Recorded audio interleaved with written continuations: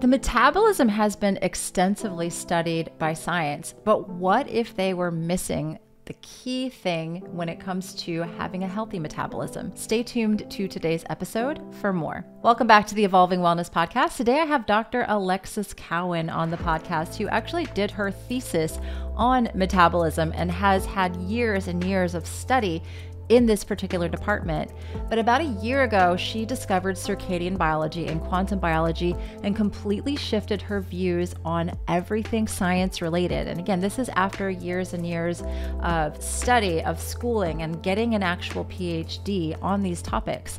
So I was super excited to bring her on to today's show and really unpack this and to see how she's applying this information not only on herself but also with her clients. There's so much in this episode that I think you're going to enjoy, so stay tuned. Just a quick little note before we get into today's episode. If you are new to the channel or new to this information, you can always get my free guides and my free resources on my website, www.sarahkleinerwellness.com. And if you are a subscriber to the podcast, you can save 10% on any of my courses using the code podcast. That is also on my website, so make sure to check those out. I also have just released a new program called the Leptin Master Plan, which is more for people who are really interested in diving deeper into the science of a lot of the things that Dr. Alexis and I speak about today in relation to leptin, circadian biology, and quantum biology. The course is a little bit geared more towards practitioners, but it's also available for people who just want to understand and apply this information on a deeper level. So make sure to check that out on my website under courses. Let's go ahead and jump into today's episode. Hello, everybody. Welcome back to the Evolving Wellness Podcast. I am so excited for today's guest. We were just talking a little bit before I hit the record button. She's got a really, really interesting take on integrating circadian biology and quantum biology, but she's also uh, qualified to speak on these things. She's done a lot of research, she has really educated herself. And so I'm excited to have you here today, Alexis. I'm excited to be here. I've been a follower of yours for a while, and I think it's going to be so fun to connect. I think we've got a lot in common, and I'm excited to explore these topics with you. Yay, I'm excited too. Well, well, let's just jump into it. If you want to tell everyone a little bit about yourself, your background, and uh, we'll just go from there. Sure. Yeah. So, I mean, my background kind of stems back even maybe to my childhood, let's say, because in first grade, I had a lot of issues with chronic recurring strep throat. Um, even prior to that, I had a lot of dental issues when I was like two years old, and I had a very traumatic dental surgery experience when I was two that kind of, I would say, in a lot of ways shaped the way that I viewed medicine um, and like a distrust in medical, like quote unquote, authority figures. Um, I think I also just have always kind of had a disdain for authority figures in general, but maybe that's another story. So, uh, needless to say, I had a lot of health issues and challenges as a child. And after that strep throat, like that recurring strep throat period of time in first grade, um, I was pulled out of school and homeschooled for about a year and a half because my mom was like, you know, you keep getting sick, maybe it's at school or whatever. So I'm at home and after a bit on antibiotics for multiple months at a time and now actually reflecting back on that time i also feel that i probably had black mold in my house that was contributing to this. Yeah. and during that period of time where i was at home my weight just kind of spiraled. And when i went back to school in third grade i was weighing about double my classmates. And then that continued to escalate up through around sophomore year of high school where i i clocked in somewhere around 270 pounds or so. And i dealt with a lot of upper respiratory health issues and skin infections and um, like irregular periods and just was not in a good place mentally or physically and did what I could at the time, which was basically like diet and exercise focus. So I ended up joining a gym with my friend and we went every day for like a year straight and I was counting calories super strictly. Um, no concept of food quality at this point, but just, you know, quantity wise, I was restricting and that actually looks like quite a bit of processed foods because if you're eating foods with labels, it tends to be easier to count, you know. Yep. So that's an unfortunate reality. yeah. yes. But so during that year, um, year and a half, let's say, uh, after I committed to, you know, changing my diet, changing my exercise habits, I lost about hundred pounds. Um, and but also gained an eating disorder and IBS as a result of that. So the IBS came a little bit later. Um, the eating disorder kind of resulted from not wanting to regain the weight, which is like this terrifying proposition after you've lost an, an incredible amount of weight. That's like the worst fear you could have. Yep. Um, and so that I would say kind of I was kind of plateaued around that time. And also around this time I transitioned from going to culinary school into going into science. Um, I had always been like a major foodie, but realized very quickly in culinary school that it's a lot of work for a pretty small amount of money.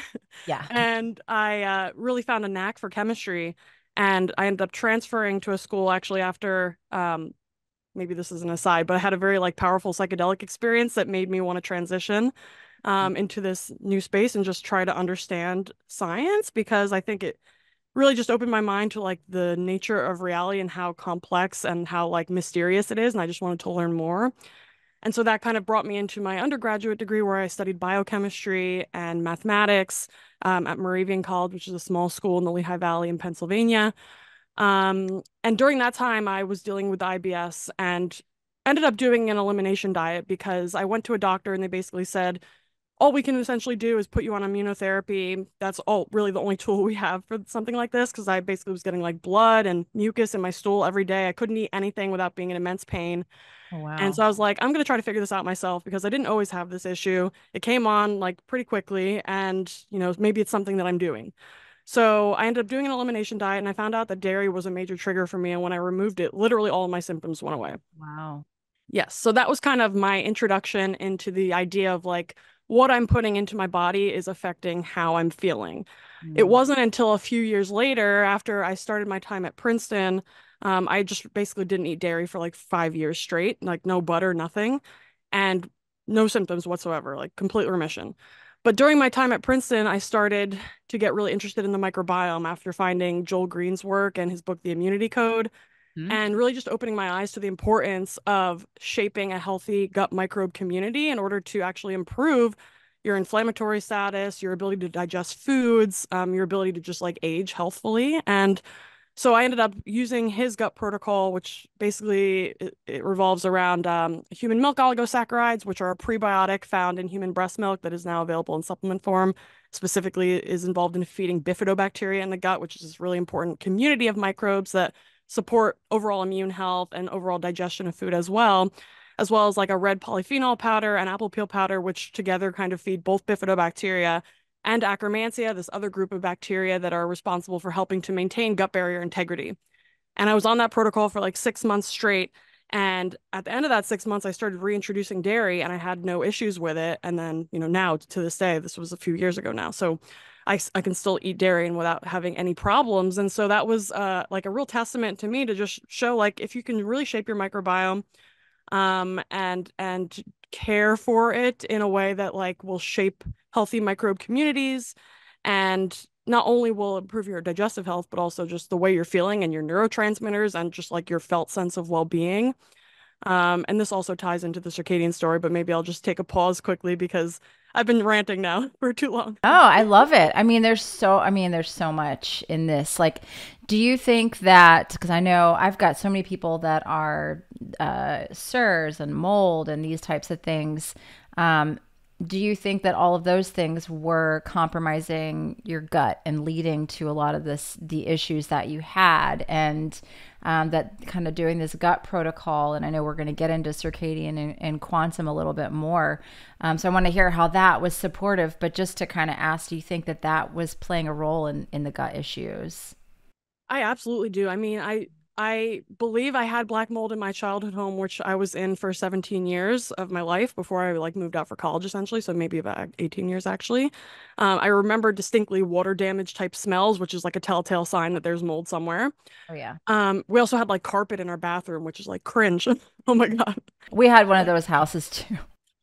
Yeah. It was that like my my grandfather who I never met, he passed before I was born, but he built the house from scratch, like on the land and it's a really it was a great plot of land. It was a very rural part of New Jersey, like amazing aspect of like having nature and having like a stream in my backyard and just forest, like basically super rural. But inside the house, I think there were just some like structural things that were suboptimal or maybe just damage happened over time that created this kind of accumulation. But I uh, not only was in mold for those first first 18 years of my life, but I also had black mold in another home that I moved into subsequently, um, about halfway through my undergrad period of time. And I remember having migraines and brain fog every day for months and still not connecting the dots that it was the mold um, because I just hadn't learned about that at that time. But when I moved out, it literally felt like a weighted blanket was being moved off of me. And I was like, wow, like that is very powerful. So now I'm very sensitive to it. But yes, uh, I really view mold as like, well, on like the spiritual side, mold is like it accumulates in areas that you're not paying attention to enough. Um, and I think that's also like a, a, fractal of, you know, maybe parts of ourselves that we're not paying attention to enough either. Um, yeah. But from like a chemical level, mold is secreting these mycotoxins that can directly poison mitochondria in a similar way that like statins are also mitochondrial poisons derived, derived from fungus. Black mold can also create toxins that directly poison our mitochondria. And anything that's damaging our mitochondria is going to be harmful to our metabolic health, to our mental health, to basically every organ system because they're required to actually make the energy and support just basal functions of cells and, and regenerative capacity of cells. So I absolutely think there's a major link to be had there between anything that's harming our mitochondria, whether it's mold or something else, antibiotics or statin drugs, like whatever it is, if it's harming our mitochondria, it's going to externalize harm to virtually every system of our body at some level. Yeah. And and do you I mean, did you have any siblings that lived in the home with you or your parents, did anybody that mm-hmm. was living with you, did they have like adverse health reactions to the mold?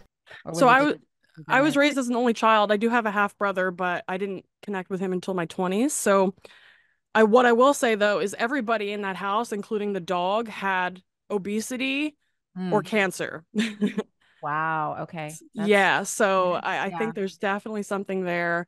Um, and it also kind of makes sense that, you know, during that time where I was like in my late teen years, I was going out to friends' homes more. I was at the gym a lot. So like I was getting out of the house more and I was losing weight and I was feeling better. So I think that was a major player in my improvements in, the way that I was feeling. Yeah, I still, you know, I haven't talked about it much, but I think that the autoimmune condition that my daughter has been struggling with was triggered by her school, being at that school. And there was, I could smell like a mustiness in that building. Oh. And her health really started going downhill. And we had like a week in the ICU last year in August. And after that week in the ICU, I was like, I'm not sending her back to that school. I'm done with it. Like I felt I already had a bad feeling about it, but I was just like, she can't go back because we had done like a gut microbiome test and it had come back that she was like high in mold and had mm. some mold toxicity. And I was like, there's, and I had had our house inspected and we there's nothing wrong with this house thank goodness. Um, and we have dehumidifiers and whole home air purifier we have the whole nine. Um, but that was just one of those things. I was like i think this is a kind of a trigger for this autoimmune one of the trigger could be for this autoimmune thing that she's dealing with um, is mold. And so i think that you know it's one of those things like I don't like people to get hung up on it and say I can't heal because of this and it's impossible, it's irreversible. But I think you do have to get out of mold um, in order for your body to start healing. You know, that's why I never sent her back to that school. And I, you know, we had a pretty big settlement with the school system for her to go there. And I said, sorry, we're just going to have to let go of it. And she had, she stayed here for months and months until we found a better place for her, you know? Good. I mean, yeah, I think Uh, mold can be a real problem depending on how deep it goes into the house and like oh, how oh, wow. many different parts of the house it's affecting. It can be a very expensive task. It sometimes is easier to actually just move, move out. Get out. Yeah, exactly. Yep. But I mean, in the interim, just like trying to, you know, work outside or just be outside more is going to make a huge difference because I mean, if you think about it evolutionarily, we're not really meant to live in these enclosed spaces that are detached UV from light. Nature. Is one yes. of the things that actually can li- co-live with the mold, right? Like if you're you're exposed to mold outside, there's high levels of mold outside, but why you're not getting sick from it is there's the UV light and infrared to help offset the damage that the mold could possibly cause from outdoors. You're not in an enclosed indoor space, right? Yes, exactly. So the red and infrared light directly support mitochondrial function and, and health and co- uh, at the same time the uv light is kind of keeping things in check with regards to microorganisms in the environment it helps yeah. to just keep levels at like a, a, healthy balance and that makes so much sense because in the evolutionary environment the sun is a given it's always there it's always there at a certain time of day and obviously the intensity of the sun varies depending on the time of year depending on where you live but the sun is kind of regulating every aspect yes. of nature and of all organisms in nature, even the nocturnal ones. So to think that we're kind of above that and to just kind of kind of create this artificial indoor environment and we think that there's no ramifications for that, I think is very misguided. Agree. And then we don't think about the ramifications of the impact of uh, artificial blue light on yeah. the on the mitochondria as well as the impact of you know the foods that we're eating all these things that we're doing and the and the wi-fi non-native emf all of these things how these are impacting the mitochondria. So it's like we're taking away this big mitochondrial support and then going indoors these enclosed environments and then pounding our bodies with things that are like wrecking the mitochondria. And i don't think people everyone's so and i think food is important you know absolutely but i don't think people understand the implications of just simply like the light when it comes to mitochondrial health right yes totally and that's actually the thing that really annoys me and like frankly pisses me off about the non-native emf research is that they'll like study one frequency of let's say it's like 5G or Bluetooth or Wi-Fi. They'll study it in isolation. They'll study it for a short period of time on cells or maybe in animals if you're lucky. And then they'll say, "Oh, it's safe." But they're not considering the fact that in the modern environment we're exposed to a milieu of different uh, exposures which include 5G, Wi-Fi, Bluetooth and just all of the unnatural frequencies that we're exposed to, but we're also exposed to them like 24/7, 365 in combination with all of the garbage food living indoors, the blue light, like it's all at the same time. And that's right. like it's it's and, really hard for science to address the multifactorial nature of this problem. Agree. Yeah. Well, you, we're we've got you on the inside now, so on the inside, outside. yeah, exactly. Exactly. yeah. So uh, gosh, so much so many interesting things we could talk about, but I'd love to kind of hear the the continuation of your story. So you got to this place where you're more in academia and you're on this healing track and and what comes next and how do you get interested in the circadian and quantum aspect of health yes so i'll continue the story. So at princeton just for background um, i did my phd at princeton in the rabinowitz lab which is one of the top metabolism research labs in the world. Um, i did a lot of research there on nutrition and fasting and the effects of like high carb versus ketogenic diet on different tissues in the body and also the like the impact of fasting on the on those uh, processes as well and how organs change their metabolic phenotype or how they're orchestrating metabolism in response to different inputs essentially. So that was what most of my thesis work was on um, and so during this time i was really revolutionizing my health i was just kind of voraciously consuming information all information that I could find about optimizing the microbiome. And I really thought at this time, like the microbiome is it, like it's the fundamental piece that we're missing. and uh, and it, as it turns out, so I mean, it is majorly beneficial and it's important to focus on. But then, so I graduate in December 2021. In January 2022, I start my business where I'm basically seeing clients one on one and helping them optimize their life. And at this time, I wasn't tapped into circadian biology at all. Um, so I was mostly focusing on optimizing gut health and the microbiome and and uh, like as a knock-on effect of that also fat loss and metabolic health optimization. So that's like all of 2022 and you know it's going pretty well. I'm also teaching courses through my business at this time and again like no focus on light or anything like that. So then spring of 2023 rolls around and I get a message from a client. It's like, hey, you should check out this podcast. And it was the Tetragrammaton episode with Rick Rubin Andrew Huberman and Uncle Jack, Jack Kruse. And I listened to this podcast and my literally my jaws on the floor the entire time. I'm like, how did I miss this piece? Like it it literally was like something that was so obvious was just made clear to me. And it just revolutionized the way that I was thinking about everything. And so from that point on, so it's been about a year now that I've literally just been consuming as much information on this topic as I could, also completely changing my own personal life in the span of that like a month's time when I first heard that podcast and also consuming other podcasts and content of his blogs and everything like that. So so for anybody who hasn't read uh, Jack Kruse's work, highly recommend checking out his podcast and he's like really the goat in this space in my mind. I'm so so grateful for him. I've had him on my podcast as well actually. So super grateful for him. And so just in that month's time after I found that podcast, um, I started working outside more. I always kind of gravitated towards the sun and I'm mixed, so I always tanned really easily and barely ever burned. So um, I never was much of a sunscreen person. I never was, was much of a sunglasses person.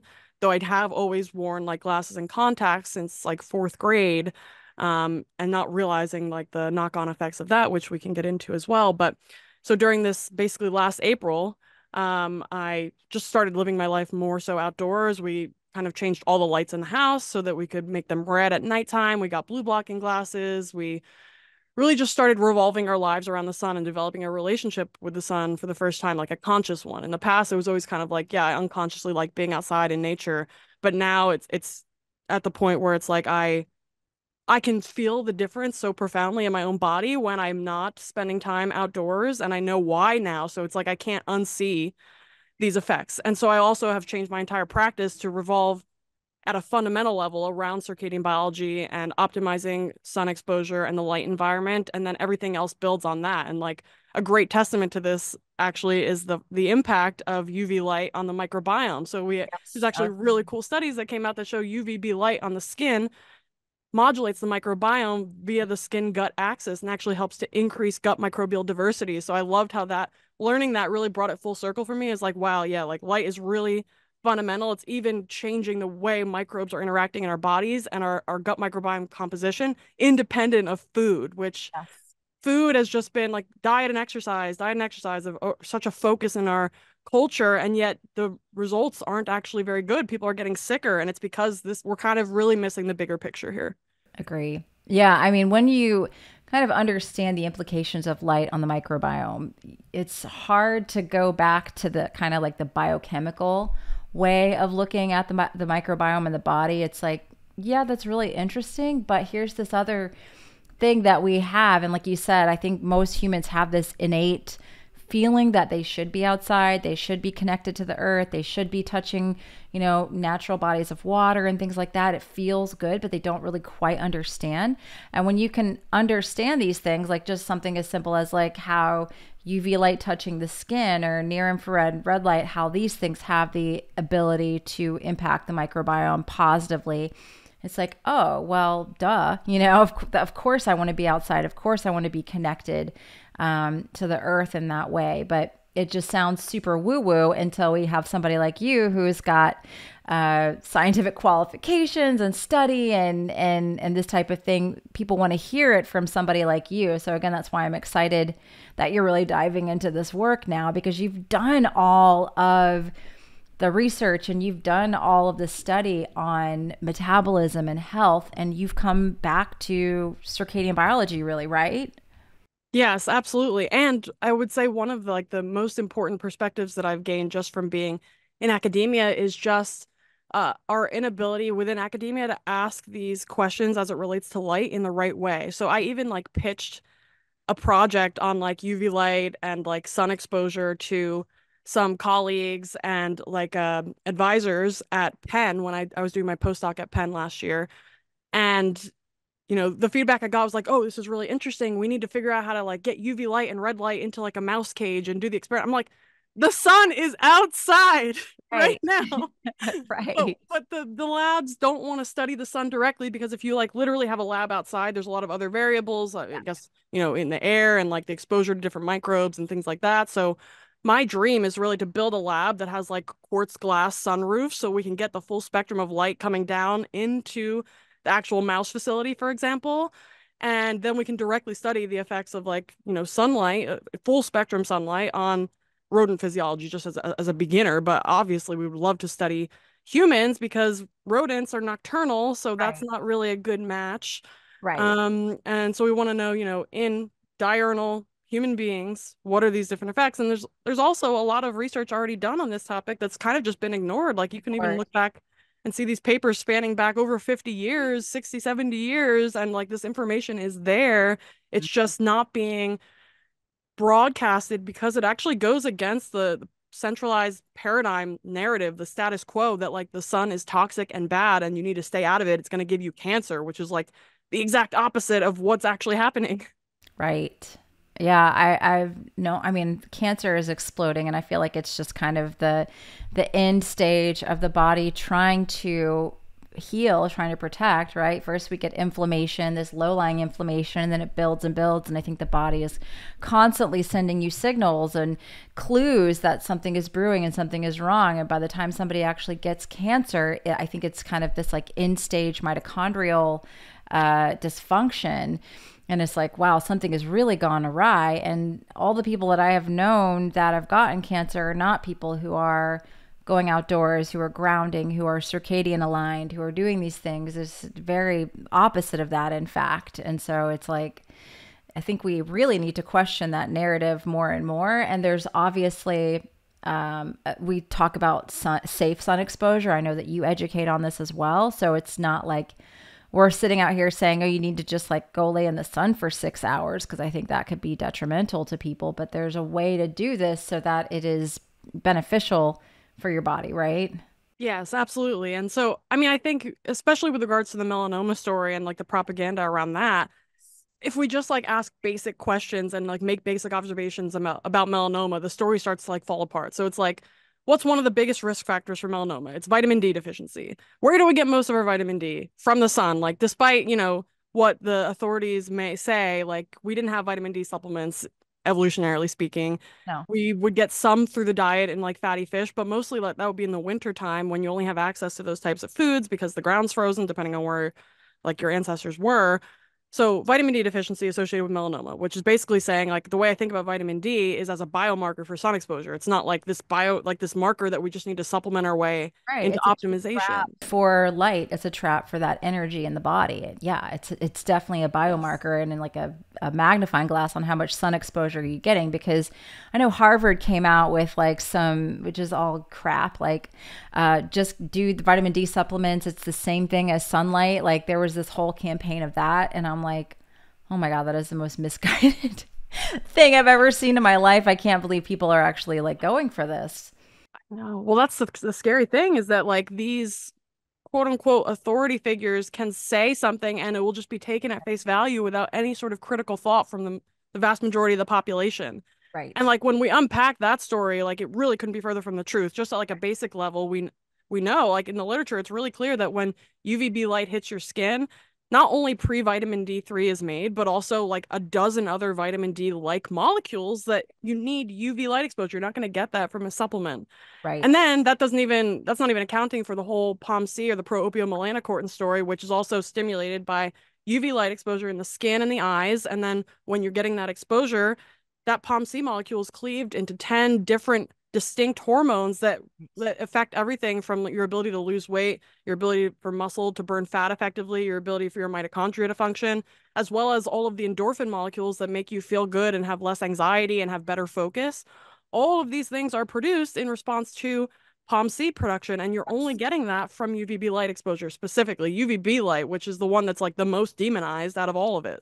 Right. Yeah, and it's it's a it's a crazy story, and you know I don't know how you feel because I'm somebody that that struggle. I feel like I'm, our stories are very similar with the weight issues. Um, I struggle with my weight my entire life, and I always felt like I was like addicted to food and like had to stay away from certain foods. And now with the circadian lifestyle and these things, and I've been doing this for the last few years.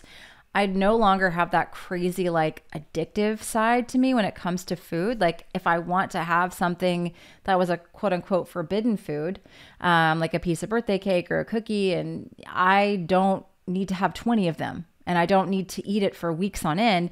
And I really think it's the, the melanocortin pathway and POMC. That's the story that is allowing this. And when I tell this to people, they think I'm just being some woo woo crazy chick, but like there's literal science behind like what you just said to support those uh, neuropeptides and neurohormones that are going to cause you to have a regulated appetite and have neurotransmitter support. So you're not seeking these things out. Have good levels of dopamine and serotonin. So you're not constantly looking for a food to boost these things in your brain. And i think that was like a big problem for me. I don't know. You it sounds like you kind of feel the same way about those things. Absolutely. I mean, so alpha MSH, which is one of the cleavage products of POMC, is the most highly reg- like the, the most highly correlated gene product with obesity. Yes. So that's already well known. Like in academia, they've known that for a while, and the major stimulus for alpha MSH production in the brain and in the skin the lights. It's it's UV light.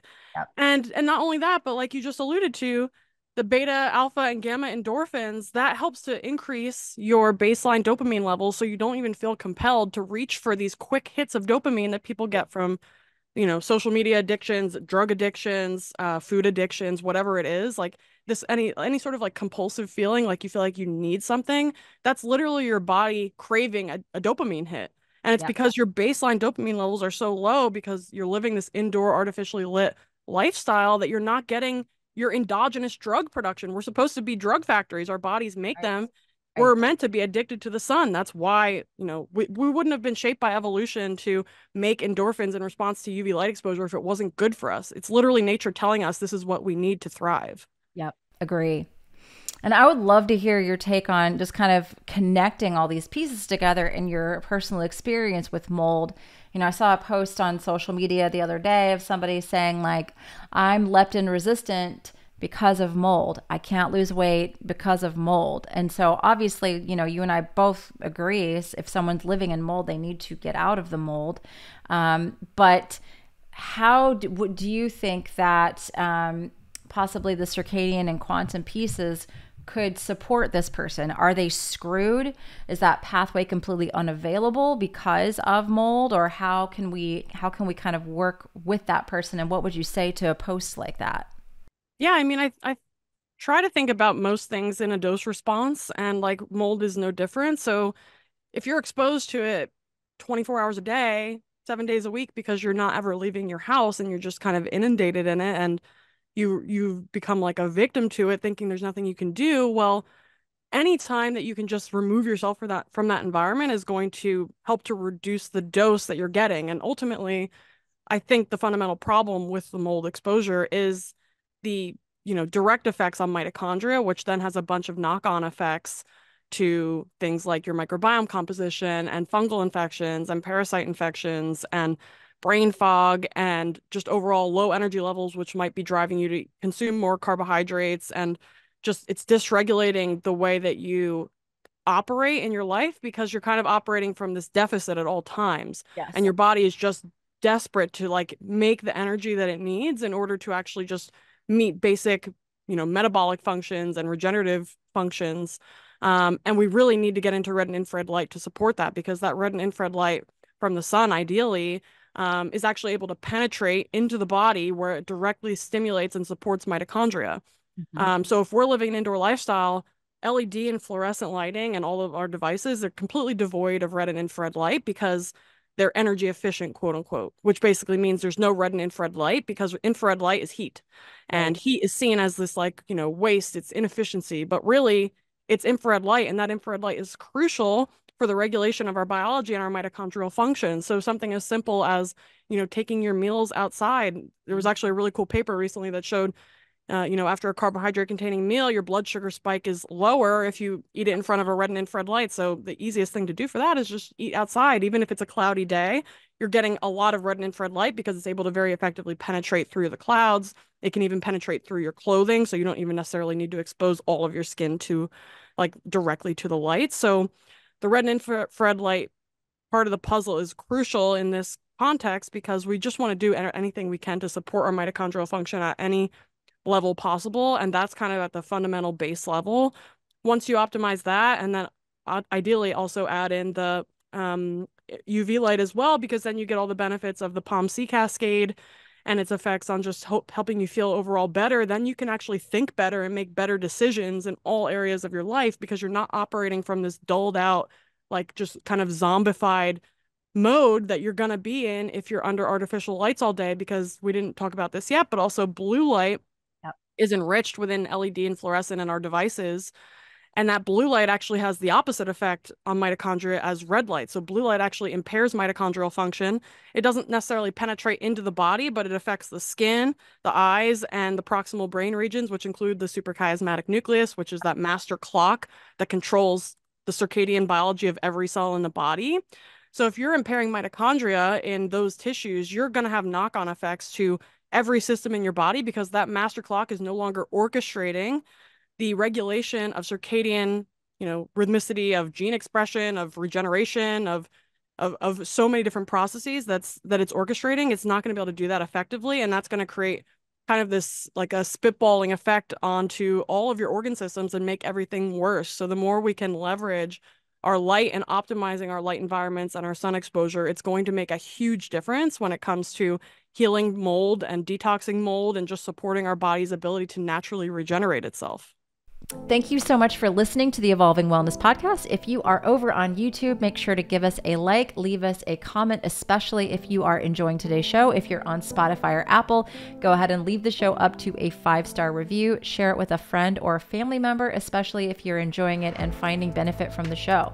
Dr. Alexis's information is all in the show notes as well, and I would love if we could all support her, follow her work, and continue to watch as she grows in this community of explaining and understanding circadian biology. So, again, make sure to check her out. That is all down in the show notes, and let's jump back into the show. Yeah, it's, you know, the amount of people, and I'm sure as a practitioner, you're getting this as well, like the amount of people that are coming in with uh, mold and CIRS and all these different diagnoses. I'm like, they're like, how would I treat uh, myself differently than your average client? And I'm like, you wouldn't. Like, for everyone, I'm going to tell you pretty much a lot of the same things. You need to spend, you need to maximize that time in morning sunlight and maximize your time in UVA in that morning UVA because of the leptin melanocortin pathway, because of POMC, because of all we need this to be happening in you, and you, ha- you need to strengthen um, the ability of your body to again cleave these these specific things that are going to support your appetite, that are going to support your body's ability to heal and repair. And it's not like I need you to go buy a bunch of fancy gadgets or do anything crazy. I just really want you out there in that time. And I think um, I'll get people that are like, "Oh, I'm doing this your program and it's not working." And the first thing I, I'm not going to ask them about food. We'll get there because it's important. The first thing I'm going to ask them is, "How much time are you spending outside in the morning?" Oh, I two minutes. I'm like, sorry to tell you but that's not going to be enough. And i'm not going to tell you to quit your job and i'm not going to tell you to move um, right off the bat. And I, I don't like to tell that to people in general uh, but it's just two minutes is not going to do it right? Absolutely. And, and also like the amount of time you need is going to I, I mean, I say I would say we all have like a fundamental need, but if you're really sick, you're gonna have to go harder on these things because your body's kind of at a critical point yes. where like you could, you know, face a life-threatening condition, or you could. It's basically a turning point, or you could start to remediate the problems. And so, for somebody who's coming to me really sick, we're gonna have to be more strict and like really dial this stuff in more than somebody who's just trying to optimize a baseline just because you know the the the like the stakes are higher in the one case. So it's going to depend a little bit on that, but I also like to really use um like vitamin D as a biomarker for sun exposure. So like the the mainstream medical model will say, you know, anything more than like around 30 nanograms per mil is fine, but this is totally suboptimal. Between 60 and 80 nanograms per mil is what you would achieve if you're living like a, a more outdoor lifestyle and that's what's actually going to help to fully suppress parathyroid hormone production, which is basically parathyroid hormone turns on whenever vitamin D is insufficient because it helps to regulate calcium and phosphate balance in the bloodstream. Um, so in order to get full suppression of parathyroid hormone, we need levels at least over 40 nanograms per mil of vitamin D. And so if you use vitamin D as a biomarker, then you can kind of use something like a DMinder app. You get your baseline vitamin D level from, you know, your doctor or order your own labs, throw in your labs or something like that find your baseline level, then you can plug it into that app. You can say, you know, this is my goal, this is where I'm currently at, and it will tell you how much sun you need to get each day or as you know as many days as you can depending on the weather and that's going to help you to dial in like the total amount of time that you're going to need at least during like middle of the day sun yep. for morning sun i think you know depending on somebody's morning routine a lot of people will have time they just need to shift their sleep schedule a bit to make the time earlier in the day to just spend that time outside eat their breakfast outside just like do whatever they were going to do inside, just do it outside. exactly. Yeah, it just is a it's a lot of shifting and I know that you coach this in your programs and with your clients cuz I get I know you you never knew so many people lived in like Norway, Iceland and Sweden until you start posting on social media. so how, how do you kind of help people that are in those more extreme climates like the northern latitudes do you have protocols to help support those people because i know they're going to be in the comments Yeah, totally. So, I mean, if they're there and their ancestors were also kind of from there, they're kind of well equipped to um, be in that environment. But what it takes is to try to live more ancestrally in that way because their biology is literally evolved to be in like decent quality sun for part of the year and pretty poor quality sun the other part of the year. And but what that means is that the, the time where there's not good quality sun, they're meant to get cold because cold has a lot of reciprocal effects on biology that light does. So you get a lot of the benefits internally from sun that you do from cold. So if you can leverage cold exposure, doesn't have to mean that you have to sit outside in the cold all day, but at least getting some cold exposure each day is going to be majorly beneficial when it comes to mitochondrial health and your metabolism, metabolic function, and your glucose regulation, which has, of course, knock-on effects to your the way your brain's functioning, whether fungal organisms can grow, um, things like this. So leveraging cold when you can't get light is going to be huge. Um, there are also like obviously it's not ideal, but you can somewhat biohack this through using something like a red and infrared light panel and like a Sperti light inside, which can give you some UV light and red and infrared light inside. So I also use those during the winter. I also mm-hmm. tried to get cold as well. Um, but if you're, you know, maybe you're sick and you're really trying to get better, but you can't afford to move somewhere equatorial or stay there for a few weeks, then you could leverage these light devices indoors to get a decent amount of the benefits of that.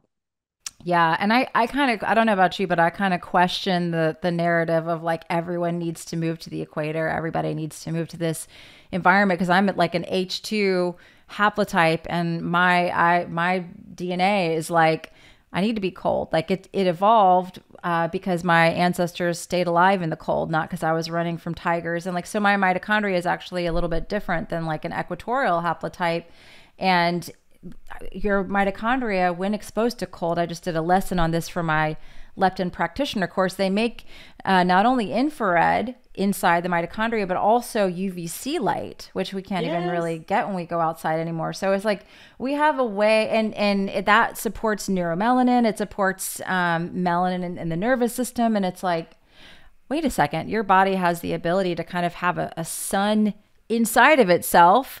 So yeah, I question that narrative of everyone needs to to move south. Like I think there's a lot of healing properties of dark and cold for people as well.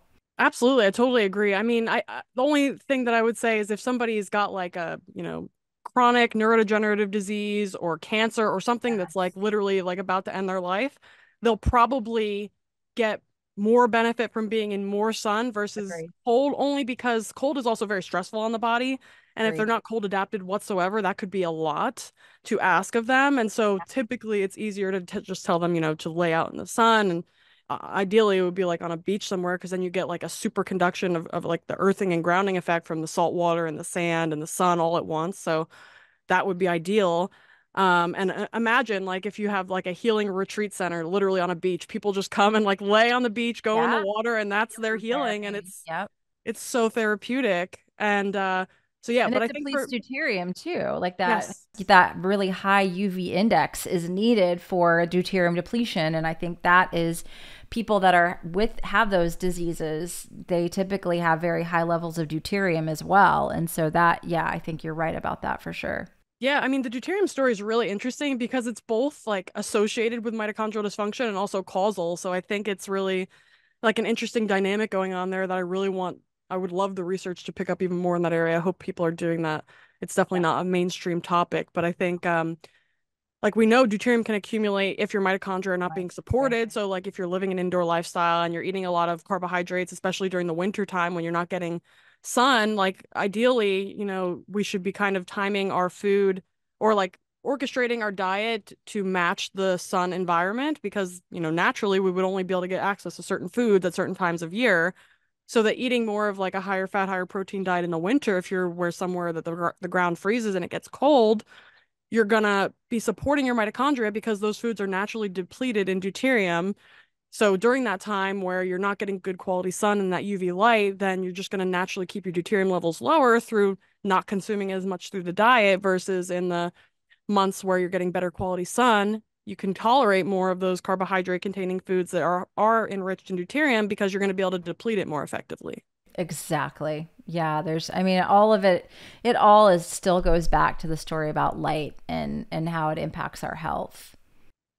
Yes, absolutely. So that's why I have a protocol that's literally called the foundational protocol, and it's all the circadian stuff in the light environment because it is so foundational to building health. Like you, you really need to nail this foundation if you want to build health because nothing else is just rooted at such like a basic level of the way our physiology is regulated and the way that it's working if we're not nailing that, but we've got like a perfect diet and, and movement practice, but we're doing it indoors and we're not eating like a seasonally appropriate diet, we're going to run into issues down the line.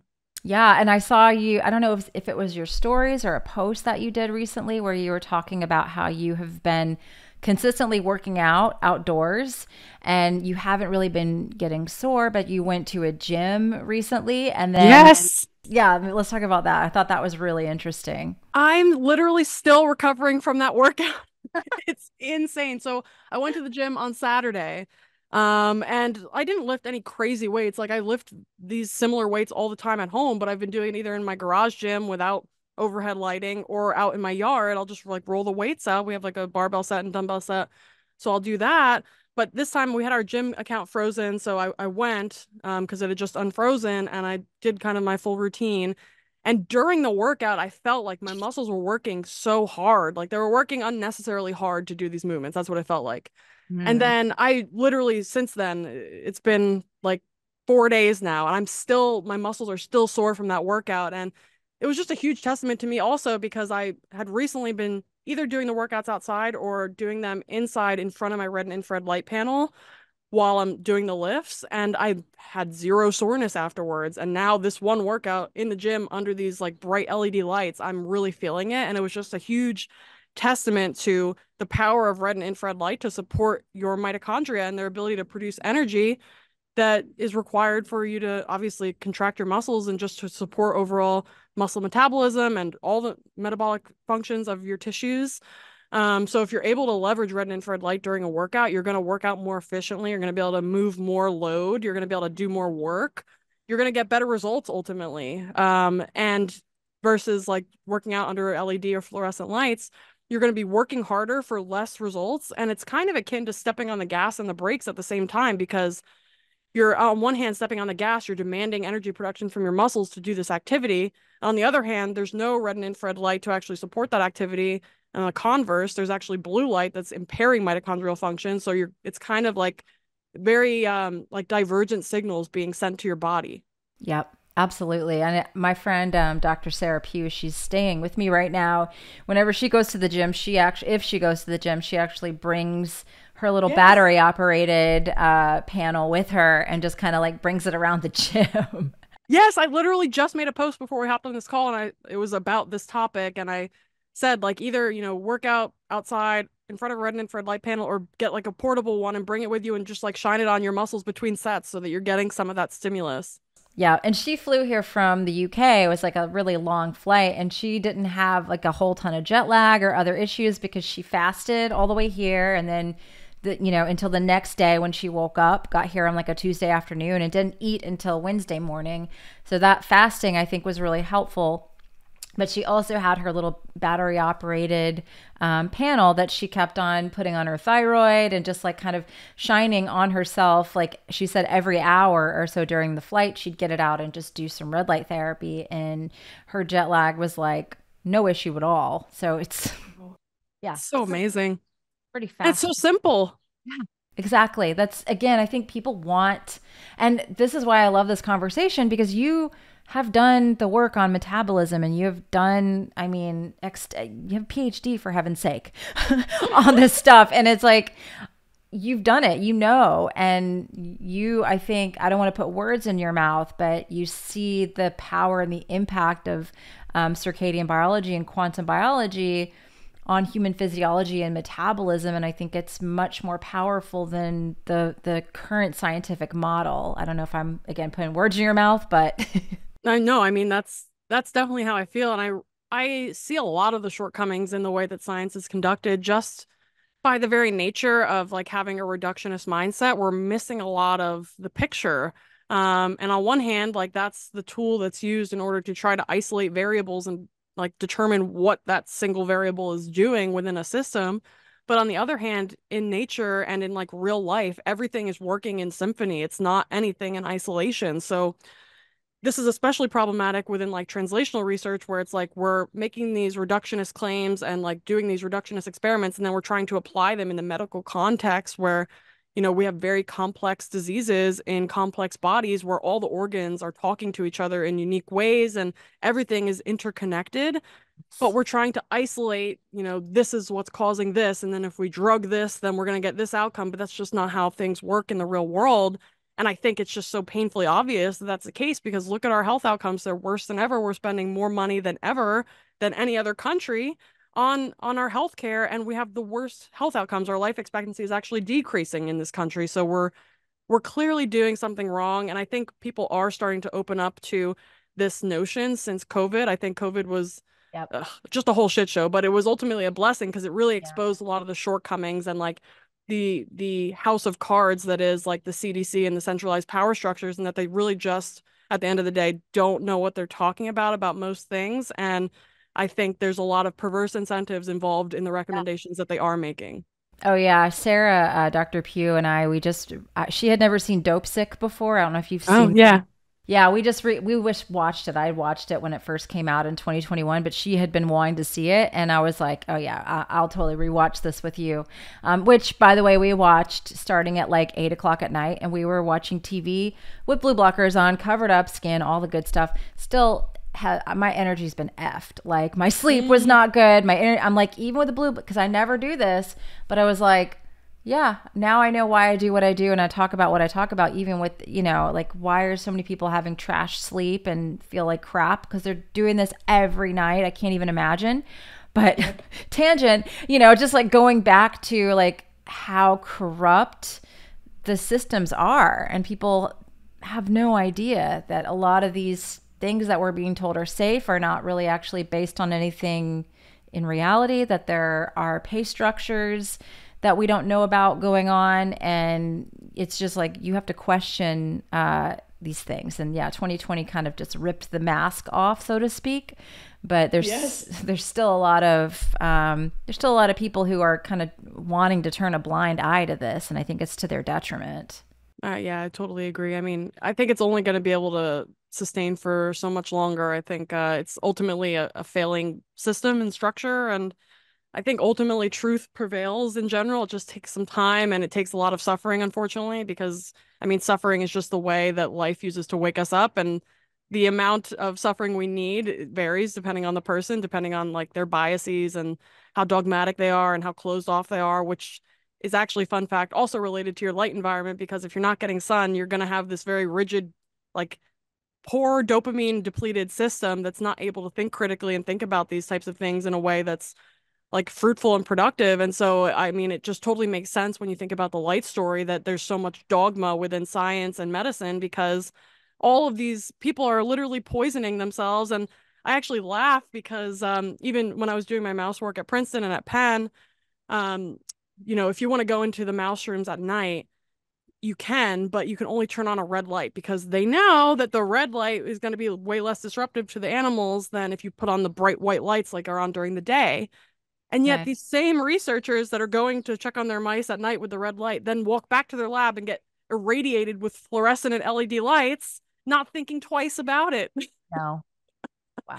That's crazy. Yeah, it's so funny. Like, I think people are, when you explain this to them, they start to connect the dots. Like, I had a conversation with one of my group members in, in my private group the other day, and she's like, we're talking about blood tests, and we're talking, she's like, well, you know, if if I'm fasting for this blood test, doesn't that make my cortisol a little bit higher? And I'm like, yeah, and you're under uh, artificial blue light. It's you know, I think we have to question sometimes these labs and not hang our hat on that. Like they can be um, helpful clues, but it's again kind of going back to academia and how they conduct research and science. Like when you're actually getting a blood draw, you're not sitting outside grounded and if you were sitting outside grounded, I think you would probably have a completely different result on your labs because of the zeta potential of the blood when you're grounded, because of the impact of the infrared light and UV light on the body. And it's like, yeah, like we just are, I think, just getting health completely upside down.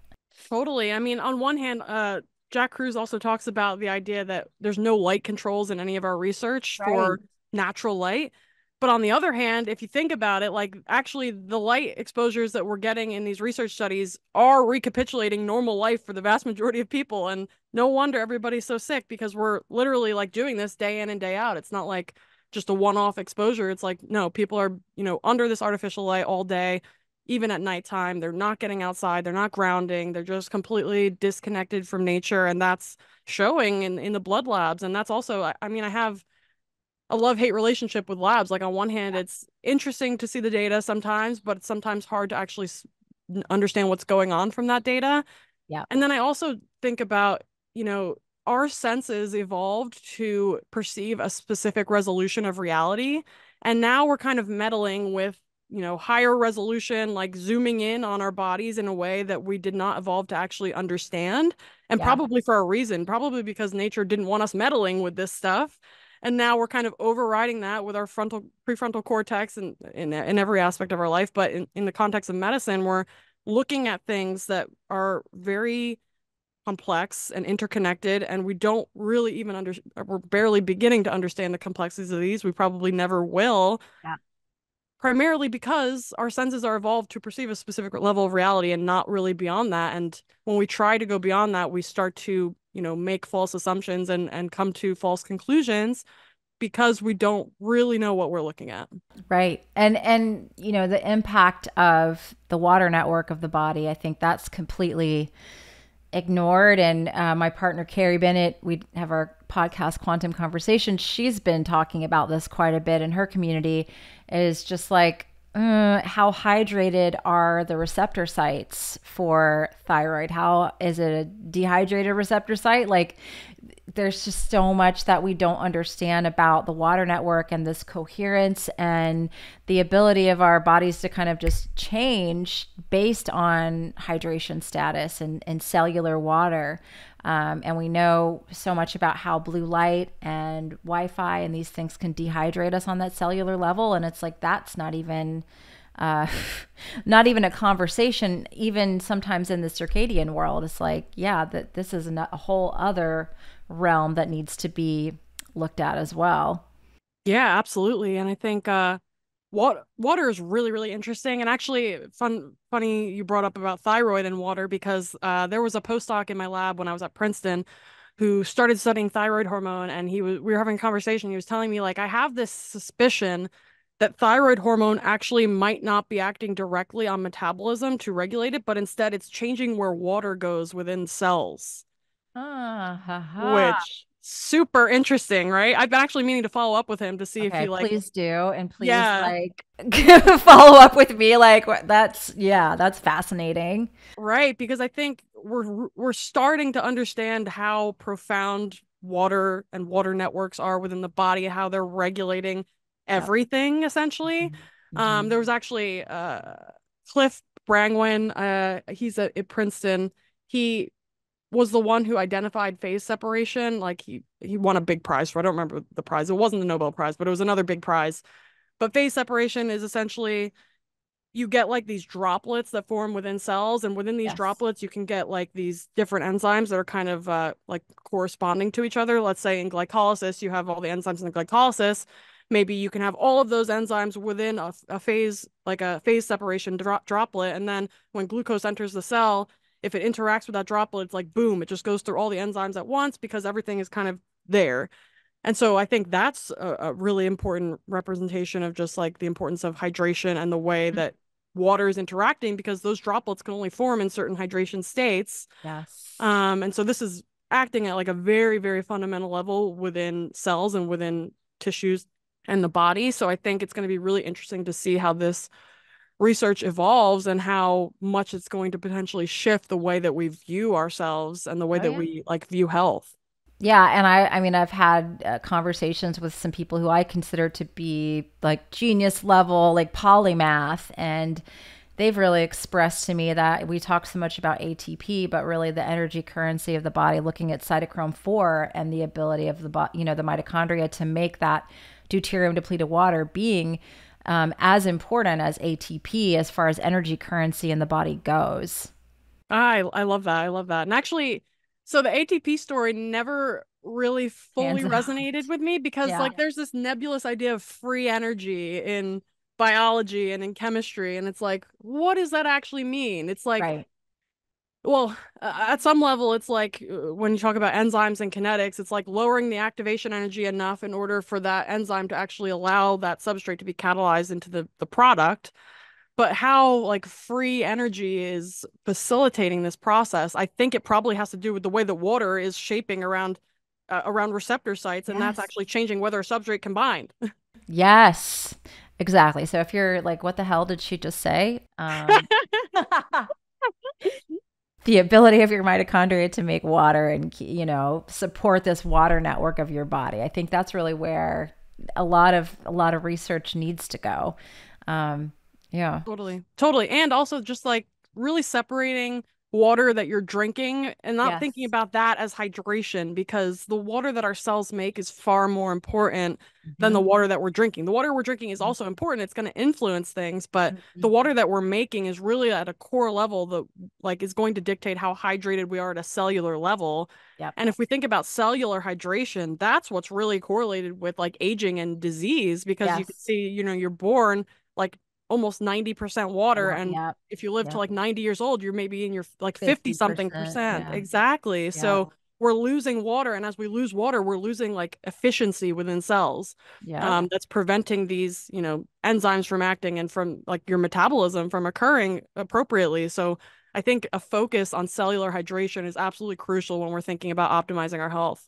Yeah, absolutely. That's in my uh, leptin practitioner course. I have like an entire week just devoted to cellular hydration, and because I think it's crucial. Like in in my even in my 21 day course, like we I have to have them understanding it's about coaching the mitochondria to make water, not and yes, what you drink is important, and we'll go over that, and I can give you some pointers there. But like you could be pouring in this high quality, amazing water, structured water, hydrogen water, whatever and it not be doing any good if you are trapped indoors under artificial blue light, disconnected from the earth, um, surrounded by non-native EMF all the time. Like it's just, it's only going to do so much for you, if anything at all.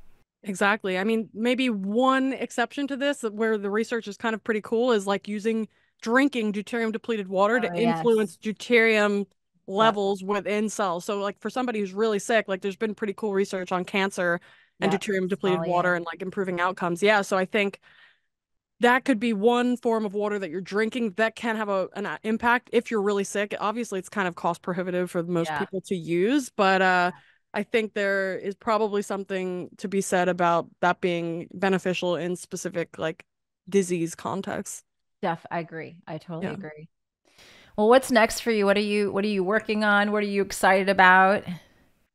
Good question. I mean, I'm always learning. Actually, so I just finished taking a course that might might seem out of left field, but it was an astro herbalism course that was connecting astrology with herbalism, but basically like how I mean, we all recognize that the sun Mhm. has this im- immense force on our planet and also the moon, immense force on the waters of the planet. So in this same vein of thinking, the the idea of like the alchemists back in the day was that each planet has a specific energy that it's bringing to the planet, and that can manifest in different ways in plants, but also in humans. And if you think about the planets, you can kind of think about them as organs of the solar system in the same way that we have organs within our body. Um, so the course I just took was absolutely fascinating. It was basically just allowing you to get more specificity when working with people and understanding like core imbalances that they have. And like all of this stuff that we just discussed is like first and foremost. But then just just adding some layers of like nuance and specificity on top of that to like see the individuality of the person in front of you and be able to help them in specific ways to address any sort of core inherent imbalances that may they may have been dealt. Um, and through like the modern scientific lens, we could say that could be through um, like like mitochondrial heteroplasmy. So like in the egg, you're kind of given all of your initial mitochondria from your mom, depending on how your mom and your grandma and, and their mother lived their lives, you're going to be dealt Yep. different hands of mitochondria. And those mitochondria will be partitioned into different organs as you're a developing fetus. And depending on which organs get like the worst hand, let's say, of mitochondria, you might develop a chronic disease in that organ, for example. So at the on the level of modern science, we could say, you know, based on um, mitochondrial mitochondrial mutation rates or heteroplasmy, that can kind of dictate organ imbalances and like core imbalances within the body. So this is kind of looking at it from another lens, like as literally like different imbalances of like planetary energies within your organ systems. And they kind of i think they in, in my mind they've been fusing really nicely and i've just been so excited about that. So i'm going to be incorporating that into my practice a little bit. Um but overall i'm just like just uh, uh so thirsty for knowledge i really want to start like a, a private scientific foundation like a research institute mm-hmm. where we're crowdfunding and philanthropically funding projects and i want to build like a sun research lab like that would be my dream um, so I'm working on that. But in the meantime, I'm just really trying to kind of build a network, you know, get get get things kind of moving, get people kind of interested in these topics and just thinking in this way so that, that we have enough, you know, kind of general interest so that this can this dream can kind of be more likely to become a reality in the next like five ten years.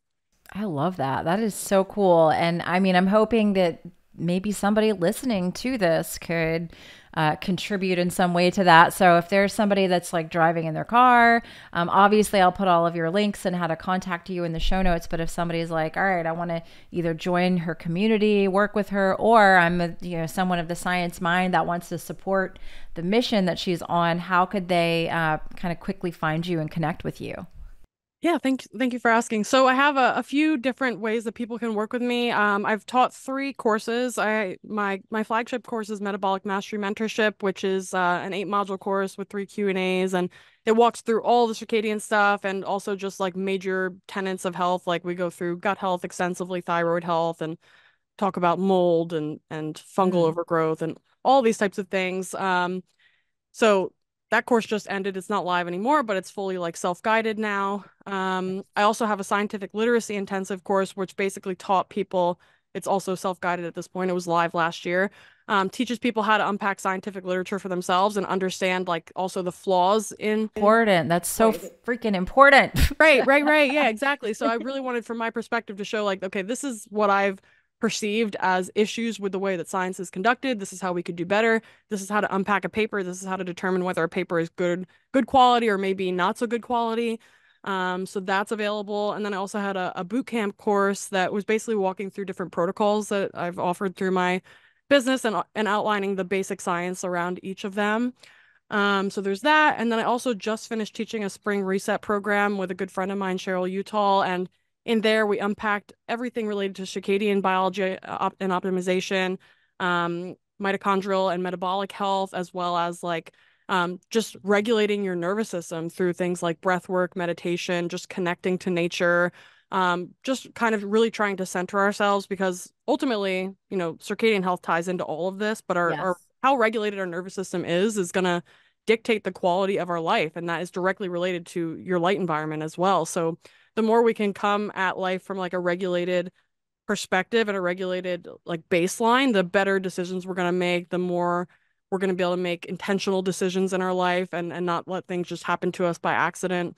Um, that we're really going to intentionally kind of create the life of our dreams. So I just mm-hmm. finished that program it's not live anymore. It's also just like fully recorded and everything, so people can purchase that. But we're also going to be launching like a three month container together that's going to start early in May. So if people want to be in a live space with us, they'll be able to join that.